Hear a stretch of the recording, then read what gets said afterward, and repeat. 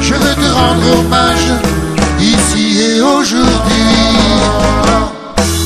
Dire combien grâce à toi je m'en suis sorti. Que sans toi, quelle erreur serait ma vie.